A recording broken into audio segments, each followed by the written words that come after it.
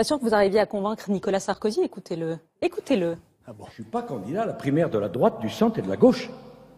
On m'a dit il faut une primaire loyale. Où est la loyauté quand on appelle des électeurs de gauche à venir voter, à signer par jure un papier dans lequel ils s'engageraient à partager les valeurs de la droite et du centre, alors qu'en vérité, ils n'en partagent aucune? Je ne veux pas de cette primaire-là, parce que ça serait la primaire de la déloyauté et du mensonge. Déloyauté, mensonge, parjure, il vous accuse de, de- de- de voler la primaire. Vous posez la question de savoir qui je suis. Ben, Vous voyez qui je ne suis pas. C'est-à-dire?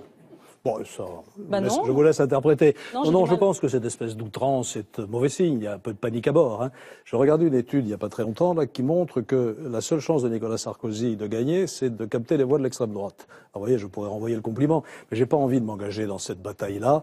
Moi, je veux parler de mon projet, aux Français qui sont là, aux Français que je rencontre. C'est ça qui m'intéresse, Et et pas du tout la polémique politicienne. De fait, est-ce qu'en appelant des électeurs euh, déçus de François Hollande, donc des électeurs de gauche, à signer un texte où ils adhèrent aux valeurs de la droite, ça n'est pas effectivement un mensonge, ça n'est pas dénaturer la C'est leur problème. Ils adhèrent aux valeurs républicaines de la droite et du centre. Voilà, c'est à eux de juger si ces valeurs républicaines leur conviennent. Vous savez, en 2012, il y a eu beaucoup de déçus du sarkozysme qui ont voté pour François Hollande. Et aujourd'hui, il y a des déçus de Hollande qui s'apprêtent peut-être à voter pour moi. C'est peut-être les mêmes, vous voyez.